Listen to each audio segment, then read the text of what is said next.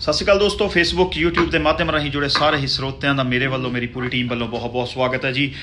ਸੁਨੇਹਾ ਦੇਣ ਜਾ ਰਹੇ ਹਾਂ ਜੀ ਕੱਲ ਦੀ ਡਾਇਰੈਕਟ ਮੀਟ ਦਾ, ਜੋ ਅਸੀਂ ਰੱਖੀ ਹੈ ਖੰਨਾ ਆਫਿਸ ਦੇ ਵਿੱਚ, Khanna office 3 sorry GTB market bus stand ਦੇ ਬਿਲਕੁਲ ਨਜ਼ਦੀਕ ਮੇਨ ਮਾਰਕੀਟ ਆ ਜੀ, ਖੰਨੇ ਦੀ ਜੀਟੀਬੀ ਮਾਰਕੀਟ ਉੱਥੇ ਬੈਠ ਰਹੇ ਆ ਜੀ ਕੱਲ ਨੂੰ ਸਵੇਰੇ 10 ਵਜੇ ਬੈਠੂੰਗਾ, ਦੁਪਹਿਰ ਦੇ 1 ਵਜੇ ਤੱਕ ਉੱਥੇ ਹੀ ਬੈਠੂੰਗਾ, ਜਿਹੜੇ ਜਿਹੜੇ ਮੇਰੇ ਵੀਰ, ਬੱਚੇ, ਭੈਣਾਂ, ਜਿਨ੍ਹਾਂ ਨੇ ਸਟੂਡੈਂਟ ਵੀਜ਼ਾ ਅਪਲਾਈ ਕਰਨਾ ਆ, ਜਿਨ੍ਹਾਂ ਨੇ ਓਪਨ ਵਰਕ ਪਰਮਿਟ ਅਪਲਾਈ ਕਰਨ ਵਾਲੇ ਸਟੂਡੈਂਟ ਨੇ ਪਲੀਜ਼ ਆਪਦੇ ਜ਼ਰੂਰੀ ਦਸਤਾਵੇਜ਼, ਆਪਦੇ ਜ਼ਰੂਰੀ ਡਾਕੂਮੈਂਟਸ ਜ਼ਰੂਰ ਨਾਲ ਲੈ ਕੇ ਆਇਓ ਅਕੈਡਮਿਕ ਡਾਕੂਮੈਂਟਸ ਹੋਣੇ ਚਾਹੀਦੇ ਨੇ, ਜਿਹੜੇ ਸਟੂਡੈਂਟ ਵੀਜ਼ਾ ਅਪਲਾਈ ਕਰਦੇ ਨੇ, ਕਰਨਾ ਚਾਹੁੰਦੇ ਨੇ ਉਹਨਾਂ ਦੇ ਐਂਡ ਜਿਹੜੇ ਓਪਨ ਵਰਕ ਪਰਮਿਟ ਵਾਲੇ ਕੈਂਡੀਡੇਟਸ ਨੇ ਪਲੀਜ਼ ਆਪਦੀ ਸਪਾਊਸ ਦੀ ਐਕੂਰੇਟ ਇਨਫੋਰਮੇਸ਼ਨ ਕਿਹੜੇ ਕਾਲਜ ਨੇ, ਕਿਹੜੇ ਕੋਰਸ ਨੇ, ਕਿੰਨਾ ਟਾਈਮ ਹੋ ਗਿਆ।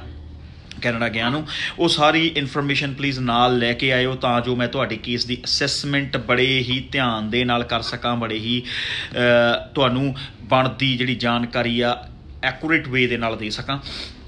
GIC new update Gursewak Singh Gill ji ji CIC ਦੀ ਹਜੇ ਕੋਈ ਅਪਡੇਟ ਨਹੀਂ ਆ। ਜਦੋਂ ਵੀ ਸੀਆਈਸੀ ਅਪਡੇਟ ਕਰੂਗੀ, ਸਾਰੀ ਦੁਨੀਆ ਨੂੰ ਸਭ ਨੂੰ ਪਤਾ ਲੱਗ ਜੂਗਾ ਇਸ ਚੀਜ਼ ਪ੍ਰਤੀ ਜ਼ਿਆਦਾ ਲਾਈਕ ਪੈਨਿਕ ਹੋਣ ਦੀ ਲੋੜ ਨਹੀਂ ਹੈਗੀ, ਕਿਉਂਕਿ ਸਰਕਾਰਾਂ ਦੇ ਫੈਸਲੇ ਨੇ, ਜਿਸ ਦਿਨ ਇਹ ਫੈਸਲਾ ਆ ਗਿਆ, ਉਹਦੇ ਤੇ ਕੋਈ ਵੀ ਇਮੀਗ੍ਰੇਸ਼ਨ ਕੰਸਲਟੈਂਟ ਕੋਈ ਵੀ ਸਟੂਡੈਂਟ ਵੀਜ਼ਾ ਕੰਸਲਟੈਂਟ ਕੁਝ ਨਹੀਂ ਕਰ ਸਕੂਗਾ, ਕਿਉਂਕਿ ਜਿਹੜੇ ਸਰਕਾਰਾਂ ਦੇ ਫੈਸਲੇ ਨੇ ਜਦੋਂ ਆ ਗਏ, ਉਹ ਆਪਾਂ ਨੂੰ ਉਵੇਂ ਹੀ ਐਜ਼ ਇਟ ਇਜ਼ ਹੀ ਫੋਲੋ ਕਰਨੇ ਪੈਣਗੇ, ਆਪਣਾ ਉਹਦੇ ਤੇ ਕੋਈ ਜ਼ੋਰ ਨਹੀਂ ਹੋਣਾ, ਆਪਾਂ ਉਹਨਾਂ ਨੂੰ ਐਜ਼ ਇਟ ਇਜ਼ ਹੀ ਫੋਲੋ ਕਰਾਂਗੇ ਸੋ ਪਹਿਲਾਂ ਪੈਨਿਕ ਹੋਣ ਦੀ ਲੋੜ ਨਹੀਂ, ਭੱਜਣ ਦੀ ਲੋੜ ਨਹੀਂ ਕਿਸੇ ਪਾਸੇ, ਕਿਉਂਕਿ ਕੰਮ ਆ ਜਿਹੜਾ, ਉਹ ਤਰੀਕੇ ਨਾਲ ਹੀ ਹੋਣਾ ਹੁੰਦਾ।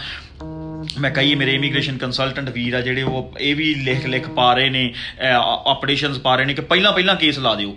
ਐਂ ਨਹੀਂ ਹੁੰਦਾ ਹੁੰਦਾ ਜਿਹੜੇ ਬੱਚੇ ਪਹਿਲਾਂ ਕਿੰਨੇ ਕੁ ਬੱਚਿਆਂ ਦੇ ਪਹਿਲਾਂ ਲਾ ਦਿਓਗੇ ਹਜੇ ਤਾਂ ਬੱਚੇ ਨੇ ਆਇਲਸ ਕਰਨਾ ਪੇਪਰ ਦੇਣੇ ਨੇ। ਸੋ ਇਹਨਾਂ ਚੀਜ਼ਾਂ ਮਗਰ ਪੈਨਿਕ ਹੋਣ ਦੀ ਲੋੜ ਨਹੀਂ ਹੁੰਦੀਗੀ ਕਿਉਂਕਿ ਜਿਹੜੇ ਫੈਸਲੇ ਨੇ ਸਰਕਾਰਾਂ ਦੇ ਫੈਸਲੇ ਨੇ ਉਹਨਾਂ ਦੇ ਕਿਸੇ ਦਾ ਜ਼ੋਰ ਨਹੀਂ ਹੁੰਦਾ। ਉਹ ਆਪਾਂ ਨੂੰ ਉਸੇ ਤਰੀਕੇ ਨਾਲ ਫੋਲੋ ਕਰਨੇ ਪੈਣਗੇ ਜਦੋਂ ਉਹ ਬਣ ਕੇ ਆ ਜਾਣਗੇ ਪਰ ਹਲੇ ਤੱਕ ਹਲੇ ਤੱਕ CIC ਵੱਲੋਂ ਅਫੀਸ਼ੀਅਲੀ ਕੋਈ ਵੀ ਅਨਾਉਂਸਮੈਂਟ ਨਹੀਂ ਕੀਤੀ ਗਈ GIC ਨੂੰ ਲੈ ਕੇ। ਸੋ ਜਿੰਨਾ ਚਿਰ GIC ਦੀ ਅਫੀਸ਼ੀਅਲ ਅਨਾਉਂਸਮੈਂਟ CIC ਵੱਲੋਂ ਨਹੀਂ ਕੀਤੀ ਜਾਂਦੀ, ਆਪਦੀ ਵੈਬਸਾਈਟ ਦੇ ਉੱਤੇ ਅਪਡੇਸ਼ਨ ਨਹੀਂ ਪਾਈ ਜਾਂਦੀ ਉਹਨਾਂ ਚਿਰ ਆਪਾਂ ਨੂੰ ਉਹਦੇ ਬਾਰੇ ਸੋਚਣ ਦੀ ਗੱਲ ਕਰਨ ਦੀ ਕੋਈ ਜ਼ਰੂਰਤ ਨਹੀਂ ਹੈ। ਜਿਸ ਦਿਨ GIC ਵੱਧ ਕੇ ਆ ਗਿਆ CIC ਨੇ ਅਪਡੇਟ ਪਾ ਕਰਤਾ ਉਦੋਂ ਮੈਂ ਤੁਹਾਨੂੰ ਦੱਸ ਦੂੰਗਾ ਜੀ, ਹਾਂਜੀ, ਹੁਣ ਇਹ ਅਪਡੇਟ ਹੋ ਗਿਆ ਤੇ ਹੁਣ ਆਪਾਂ ਨੂੰ ਇਸ ਤਰੀਕੇ ਨਾਲ ਫੋਲੋ ਕਰਨਾ ਪਊਗਾ।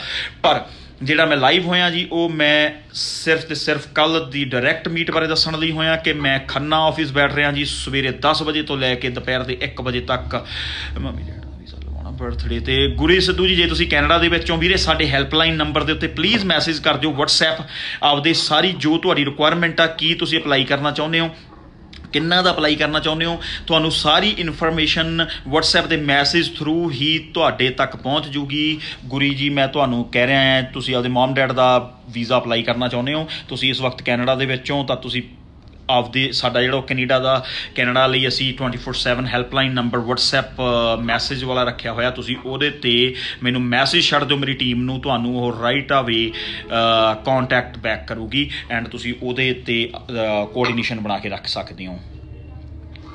ਸਪਾਊਸ ਓਪਨ ਵਰਕ ਫੰਡਸ ਕਿੰਨਾ ਸ਼ੋ ਕਰਨਾ?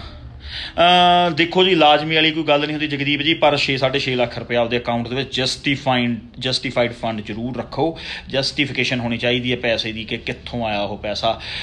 ਅ ਇੰਨਾ ਕਹਿੰਦਾ ਹੋਇਆ ਖਿਮਰਾ ਜੱਚਕਾਂ ਜੀ ਕੱਲ ਮਿਲ ਰਿਹਾ ਤੁਹਾਨੂੰ ਖੰਨਾ ਆਫਿਸ ਸਵੇਰੇ 10 ਵਜੇ ਬੈਠੂਗਾ, ਦੁਪਹਿਰ ਦੇ 1 ਵਜੇ ਤੱਕ ਖੰਨਾ ਆਫਿਸ ਦਾ ਐਡਰੈਸ ਆ ਜੀ ਜੀਟੀਬੀ ਮਾਰਕੀਟ ਜੀਟੀਬੀ ਮਾਰਕੀਟ ਦੇ ਵਿੱਚ ਤੁਸੀਂ ਮੈਨੂੰ ਸਵੇਰੇ ਆ ਕੇ ਮਿਲ ਸਕਦੇ ਹੋ। 10 ਵਜੇ ਤੋਂ ਲੈ ਕੇ 1 ਵਜੇ ਤੱਕ ਆਪਦੇ ਜ਼ਰੂਰੀ ਡਾਕੂਮੈਂਟਸ ਜ਼ਰੂਰ ਨਾਲ ਲੈ ਕੇ ਆਇਓ। ਇਹਨਾਂ ਕਹਿੰਦਾ ਖਿਮਾ ਜਾ ਜੱਚਕਾਂ ਜੀ ਧੰਨਵਾਦ।